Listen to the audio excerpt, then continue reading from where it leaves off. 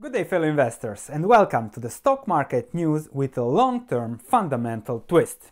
Today, we're gonna talk about what happened in the global stock markets around the world this week. What did the Fed's chairman Powell testify, and why did that trigger a stock market sell off? And that was on Tuesday. On Wednesday, Trump said something about tariffs, and that further increased the sell off. At the end, we're going to conclude with a macro long term perspective on what's going on in the markets and what should an investor do. But before we start with the news, I want to thank you all because yesterday I was for the first time in my life on American news. And without your support, without your views, without your likes, without your shares, that would be impossible. So really, I want to thank you for your support. I'm really enjoying and I will do my best to continue giving you value for as long as I can. So thank you, thank you, thank you. Let's immediately start with the news. The S&P 500 index on Tuesday, Powell made his testimony and stocks started dropping a little bit. But then on Wednesday, Trump said something about tariffs completely out of the blue and that really crushed the market. A little bit of recovery on Friday, but the 5-day change is minus 2.04% for the S&P 500 index.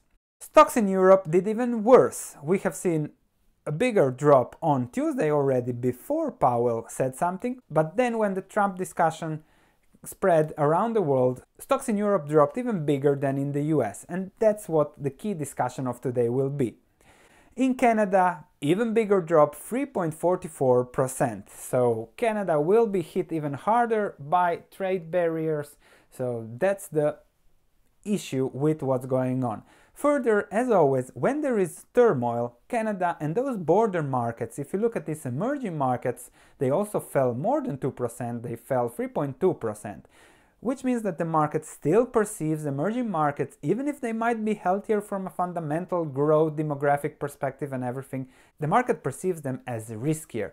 And therefore, if there is turmoil, those will drop like a rock. So the week started, let's say, on Tuesday with Powell's testimony. He was very upbeat about the economy and he says how the Fed and his board is raising expectations.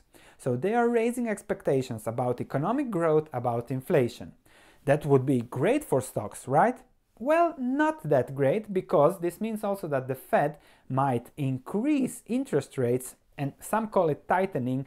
We prefer the word normalization, which increased interest rates might lead to faster normalization of the financial environment, which is something not good for most companies, thus most stocks.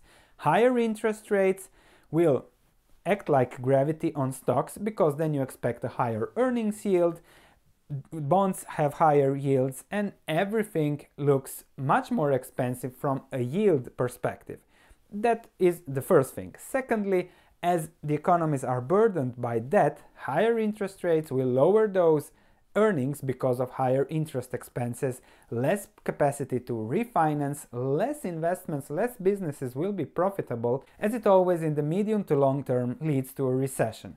So, big warning bells on Tuesday. And then on Wednesday, Trump said that the steel industry in the US has to be protected and deposed tariffs 25% on steel imports and 10% on aluminum imports. Bam! The news were that there will be retaliation, Europe, Canada. If a global trade war starts, then you will see inflation go to the moon, the Fed won't be able to control it, we'll see much higher interest rates, a lower trade that will lead to recession, depressions, and to a very, very disastrous dark situation.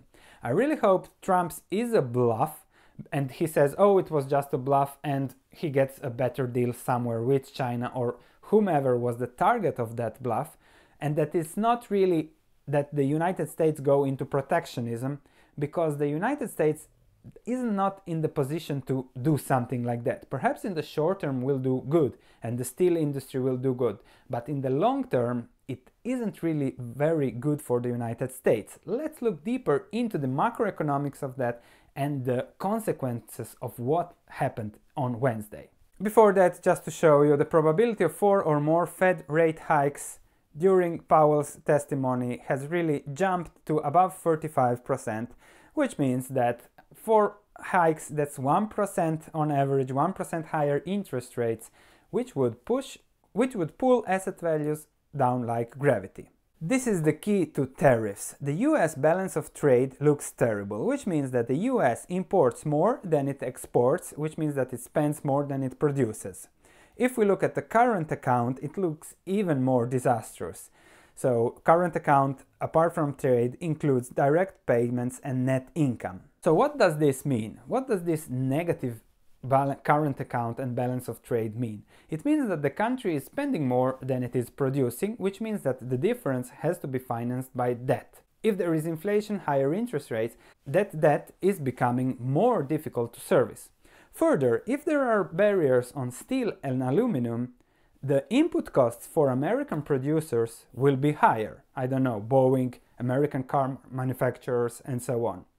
Which means that imported products will be cheaper, thus, it's not a benefit for the American economy and the whole. It's a benefit for steel makers and aluminum producers, not for the whole economy. Because you will see, okay, and foreign car costs cheaper, foreign product costs cheaper. So protectionism really protects the old instead of looking how to develop increased productivity to compete globally, which I think the US has a lot of potential to do, but such protectionism switch the focus to other things. So when a country is dependent on debt, as long as there are creditors willing to finance that, it is good. But if there is trade protectionism and global creditors lose confidence, then it will be difficult for the US to refinance. Yes, the history is great and backing res reserve currency, everything stays there, but that might change, especially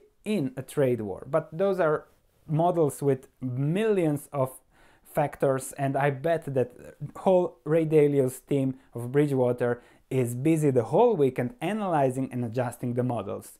It's a lot of variables. Nevertheless, if you look at from a broad perspective, the debt is the issue and higher inflation, higher interest rates, less likelihood for lenders to give money to the US. So he really opened a Pandora's box with his statement, so we'll see how that ends. Now, what should an investor do? I have been also saying my series on the riskiness of the market started on Friday, so it will continue next week with valuations, with everything. The markets are really risky. And you have to see one thing. Okay, what's the maximum reward that the stock market can give me? Price to earnings ratio is 25, thus 4% return with the growth over the very long term. It will be 4%, 5%, 6% really would be a jackpot per year over the long term. What's the risk? The risk is if there are higher interest rates that really the stock market falls 50%. As it went up fast during the last five years, it can drop like a rock during the next year to three years if we see a recession.